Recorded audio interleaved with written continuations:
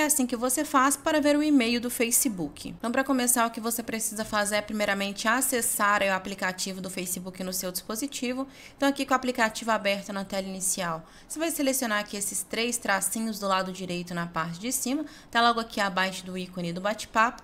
Então, selecionei aqui os três tracinhos, vai abrir aqui esse menu. Agora, você vai rolar aqui um pouquinho e clicar em configurações e privacidade. Você seleciona agora aqui esse primeiro botão, que é o botão configurações. Na tela seguinte, a gente vai precisar aqui abrir essa central de contas para acessar os seus dados. Então, você clica em ver mais na central de contas. Selecionou, né? Abriu aí a central de contas em poucos segundos. Você vai clicar aqui agora em dados pessoais.